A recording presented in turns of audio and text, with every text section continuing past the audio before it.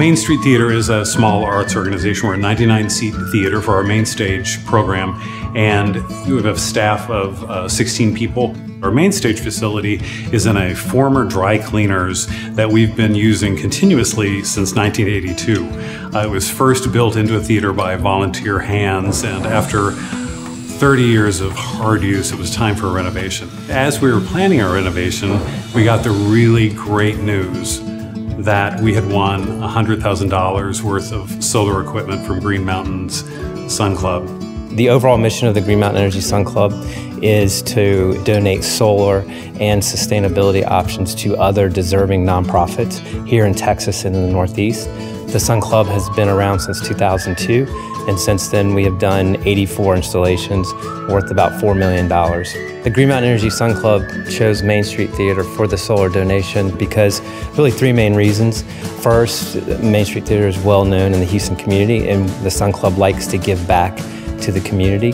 Um, secondly, when the Main Street Theater decided to, to redo their facility here, um, they had a commitment to, to make it more sustainable. And thirdly, they have a very robust youth program and the opportunity to provide education to the, the, the, young folks of Houston about solar energy and sustainability was very appealing to the uh, uh, Green Mountain Energy Sun Club. The theater has a great history in Houston and our community. They understand and value sustainability, which is very important to us.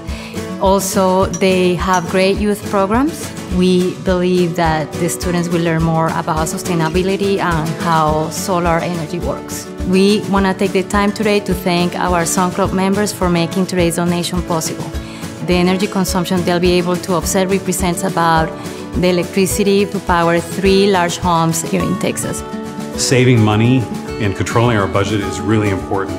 So the idea that we can save on our energy costs by way of our new 77 panel solar array is tremendous.